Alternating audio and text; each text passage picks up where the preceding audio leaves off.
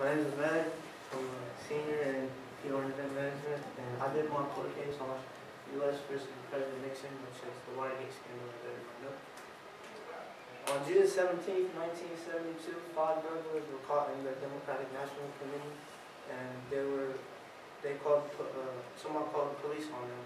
And when the police arrived, they found tapes on every single door, as they were trying to, um, get wiretapped phones.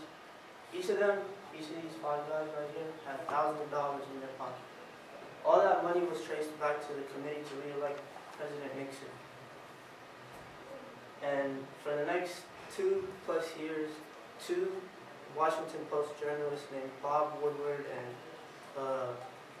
Carl Carl Bernstein were looking into this break-in to see where did it come from. And it came out to be that President Nixon had ties to these guys and he sent them to this building right here to get the wiretap phone. And President Nixon denied all this saying he had no involvement in it, but as the two journal, the two journalists kept looking in and they got to go to the highest level of Congress and to show them that, you know, he had ties to this break-in. And a burglar, nine, one of these burglars, nine months later, admitted that there was a high-profile cover-up in this scandal. And eventually, it turned out to be there was recording tapes that President Nixon he records his in the White House. He records all the stuff that he says, and those tapes had to be, you know, given to the courthouse. President Nixon refused to, but in a unanimous 8-0 ruling, he had to give up the tapes.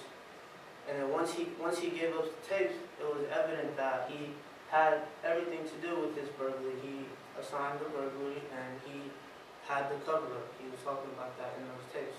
So as soon as impeachment proceedings were beginning to happen, President Nixon decided to resign on April 9th, 1974.